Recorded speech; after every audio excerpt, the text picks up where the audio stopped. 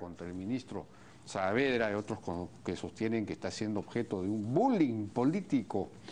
Pero el hecho es que está de alguna manera vinculado a dos temas que han sido señalados en los últimos días, las últimas semanas en los medios, dos denuncias, una en relación a la eh, al Comité Olímpico Peruano, donde se habría producido una suerte de malversación de fondos, en fin, de respecto de la cual él estaría enterado, eso es lo que se dice, y la otra, no habría tomado acción o no lo habría revelado, y eh, el otro tema eh, tiene que ver con esta compra de computadoras por 146 millones de soles mm, que habría beneficiado a personas vinculadas a la directora de la OGA, que fue la que realizó la compra en el Ministerio de Educación. Ministro, buenas noches, ¿qué tal? Buenas noches, Jaime. bueno, no, he resumido muy apretadamente los dos casos. ¿Qué tiene usted que decir en relación a esos dos casos? A ver, mira, primero empecemos por el segundo, ¿no? El tema este de, esta compra de computadoras. En primer lugar, eh, eh, mostrar mi indignación por la posibilidad ¿no? porque todavía es una investigación, de que haya habido algún tipo de mal uso de recursos eh, de, estos recursos que nos cuestan tanto conseguir para poder invertir en educación. Nosotros tenemos un objetivo de reforma claro como país, es una reforma urgente, necesaria, gastamos muy, a pesar de las mejoras, gastamos muy poco en educación todavía, entonces todo dinero tiene que ser bien utilizado. Eh, dicho eso, dicho, dada esa indignación, eh, hay una denuncia de la, de la, Fiscalía, de la cual nos enteramos por la televisión el día, el día domingo, ¿no? de, eh, es, una, es una denuncia bastante compleja, ¿no? es de empresas que han provisto de computadoras al, ministerio y que detrás de estas empresas hay manejos extraños de dinero que se vinculan eh, con distintas empresas y distintas gentes que eventualmente podrían estar ligados a funcionarios, eh, a un, bueno, un exfuncionario y a una funcionaria del ministerio. A la directora general de la De, la Oficina General de Administración, que ya renunció el, día lunes. Eh, ¿Y es una persona de su confianza?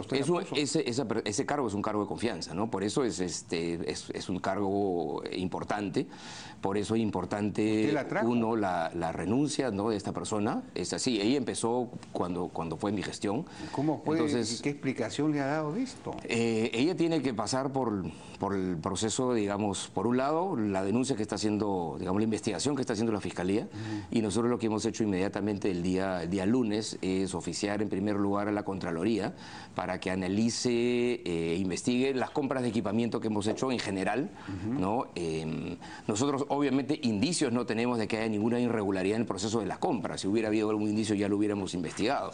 No tenemos ningún indicio, pero eh, igual tenemos que eh, asegurarnos de que no haya ningún, ningún manejo extraño. Eh, entonces por eso le hemos oficiado en primer lugar, el mismo día, lunes a las 10 de la mañana, oficiamos a la Contraloría para que analice nuestras compras y por otro lado, simultáneamente a la Procuraduría del Ministerio para que haga las denuncias correspondientes por si es que hay alguna responsabilidad de algún funcionario. la Procuraduría ya hizo una demanda que ya la presentó, una denuncia que ya la presentó hoy día a la Fiscalía.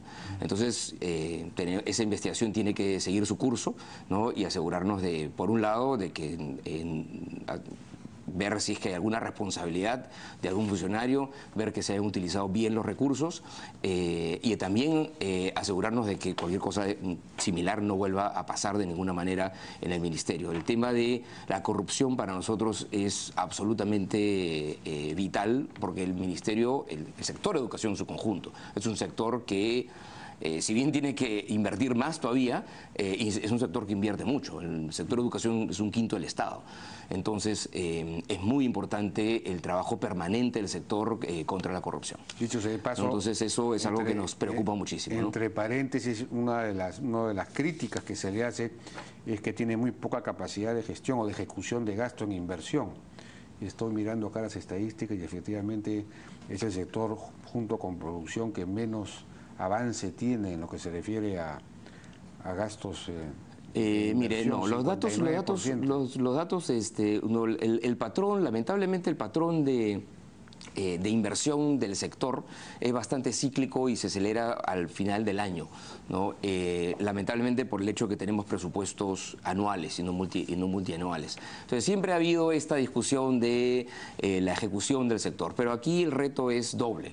El reto es que hay que ejecutar efectivamente, pero hay que ejecutar bien.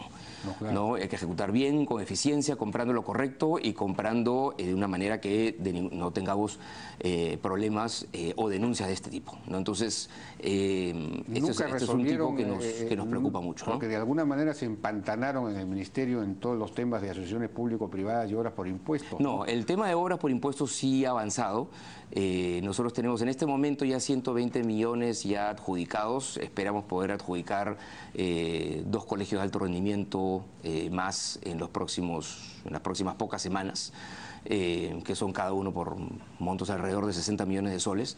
Eh, entonces, ha avanzado, obras por impuestos ha avanzado. asociaciones público-privadas ha sido un proceso bastante lento. ¿no? Están, efectivamente, tenemos una cartera importante de asociaciones públicas y privadas, pero ha avanzado mucho más lento de lo que nosotros hubiéramos querido y la reforma de proinversión es algo eh, eh, urgente, es necesaria. Estamos, creo que hay muchas expectativas con el nuevo jefe que tenemos de, eh, de proinversión, de tal manera que nos permita acelerar esos procesos. De acuerdo. Y bueno, el otro caso es el caso del IPD, el Comité Olímpico Peruano, estos audios de Francisco Bosa que se refieren a una conversación que había tenido con usted, ¿no? en la que eh, usted le dice algo así como que hay que ponernos de acuerdo en el mensaje, tenemos que tener un solo discurso en el manejo de este tema y ese solo discurso significa no se sabe bien, pues qué, qué, explicación nos puede dar. Aparentemente hubo malos manejos o, malversaciones, o se usó mal unos recursos que fueron transferidos al Comité Olímpico, Peruano, entonces había que unificar el discurso en el sentido de que había que ocultar las cosas. ¿Cuál es el...? No, no, no, no. Eso, eso yo creo que, hay, para empezar, esto es un, eso es un no video, es un audio de Francisco Bosa con, con terceros. Y obviamente a nosotros nos, nos ha indignado también este, que la conclusión de ese audio por parte del congresista Hugataz, ¿no? que estaba invitado en el programa, bueno, entonces el, ministro es el jefe de la banda. ¿no? Eso, es, eso ya realmente, eso, es una cosa, o sea, sí es cierto que han habido por parte ¿no? de, este, de esta persona eh, tergiversaciones y confusiones en la información que se ha estado dando, pero bueno, eh, ese es un nivel. Eh, y mala información creo yo también. Pero ya pasar a ese nivel de difamación ya yo creo que es, es, cruzar una línea. Lo va a, sí, o sea, nosotros hemos, vamos a plantear una, una, una, denuncia ¿no? por, por difamación. ¿Por qué?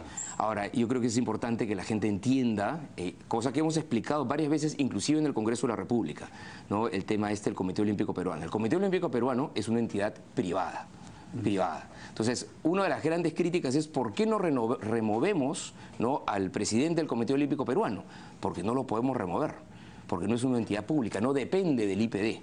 ¿no? Es una entidad privada. Ahora, lo que sí es cierto es que este, este señor, eh, bueno, el Comité Olímpico Peruano en general, recibe eh, así como las federaciones eh, deportivas, recibe o ha, estado recibiendo subsidios eh, públicos, no lo que se le llaman subvenciones. ¿no? Son subvenciones que es la manera a través de la cual el sector público, el Estado, ¿no? apoya el deporte. Entonces estas, estas subvenciones van a las federaciones y van también al Comité Olímpico Peruano. Y lo que sí es cierto es que el Comité Olímpico Peruano no ha rendido cuenta de manera satisfactoria de esos recursos públicos. Entonces, como no lo ha hecho, nosotros hemos tenido que eh, en primer lugar, hacer las acciones administrativas, luego ha tenido que entrar la Contraloría, trabajando junto con el IPD, ¿no? para ver eh, los errores en, estos, eh, en estas rendiciones de cuentas y luego hemos tenido que hacer ya las demandas a nivel de Poder Judicial ¿no? para que ellos nos, den, nos rindan cuenta apropiadamente de los recursos que eh, han recibido del Estado. Entonces nosotros sí podemos Además, avanzar... había habido un mal uso de esos recursos. Este, claro, un, es, un mal uso o un, uso para otras cosas distintas. Cuando uno le da recursos a alguien en el Estado o le da a algún privado recursos, para una cosa solo se pueden utilizar en eso. ¿no? Entonces, un ejemplo, y eso es algo que se mencionó, es eh, recursos que se, que se otorgaron al Comité Olímpico Peruano para que le pague una cuota a la ODEPA, a la Organización eh, Panamericana, que es la dueña, digamos, de los Juegos Panamericanos, es la Organización Panamericana del Deporte. Em, nosotros recibimos, nosotros nos le hemos dado recursos al COP, al Comité Olímpico Peruano, para que le pague esta cuota a la, a la ODEPA. La ODEPA nos envía una carta diciéndonos, el COP no tiene ninguna deuda con nosotros. Entonces, hasta ahí, eso está bien. pero nosotros le decimos al COP, bueno, qué bien que nos, nos digan eso, pero denos un voucher, ¿no? El, digamos, el depósito en el banco en el cual se muestra que efectivamente ese, esos recursos se transfirieron a la ODEPA. Y ese voucher no lo hemos recibido. Entonces, por lo tanto, nosotros tenemos que iniciar las acciones judiciales contra el Comité Olímpico Peruano. Entonces, eso sí podemos hacer y eso sí hemos hecho. Lo que no podemos hacer es remover al señor, al señor Quiñones, que, es el, que, es, el presidente del Comité Olímpico Peruano.